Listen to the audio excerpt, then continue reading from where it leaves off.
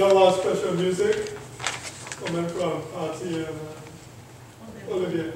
May God bless.